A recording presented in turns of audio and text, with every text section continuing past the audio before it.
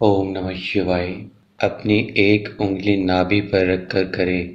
किसी को भी अपने वश में जो भी साधक या साध्वी सामग्री नहीं ला सकते, वे सभी साधक साध्वी इस सरल और अचूक विधि से अपने प्यार को अपने वश में कर सकते हैं। यदि वे इस विधि को किसी भी व्यक्ति के लिए प्रयोग करते हैं और वे उनका प्रेमी, प्रेमिका, पति, पत्नी, जो भी हो जिसके लिए भी आप इस विधि को कर रहे हो। सामने वाले के प्रति आपके मन में सच्चा प्रेम और सच्ची श्रद्धा होनी चाहिए।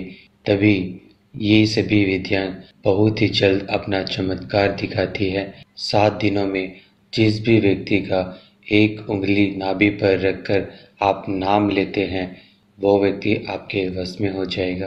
तो जो भी नए साधक साध्वी हमारे चैनल पर अभी नए हैं वो पहले हमारे चैनल को पहले सब्सक्राइब कर ले और साथ ही साथ आप बेल आइकन को दबाना ना भूलें, क्योंकि हम आपके लिए बहुत ही सरल और शक्तिशाली विधि लेकर आते हैं, जिससे आप स्वयं इस विधि को अपने हाथ से करते हैं।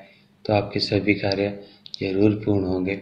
इस विधि को स्नान आदि करने के बाद कहीं ऐसे स्थान पर बैठकर आप इस विधि को करें, जहाँ पर कोई आपको रोके ना, कोई आपको टोके ना।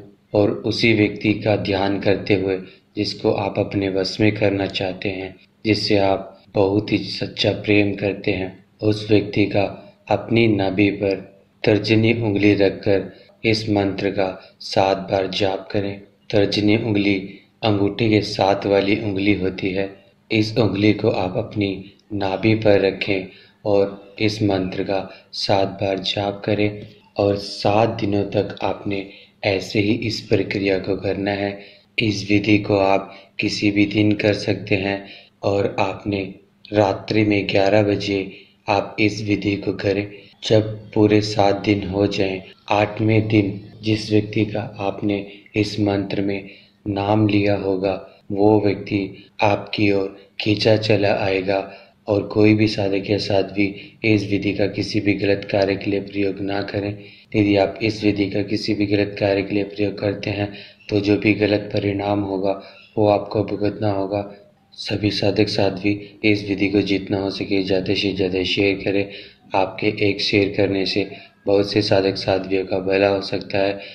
और यदि आप किसी भी समस्या के बारे में जानकारी लेना चाहते हैं तो आप नीचे दिए नंबर को व्हाट्सएप पे ऐड करें। और अपनी समस्या को व्हाट्सएप मैसेज में छोड़ दें।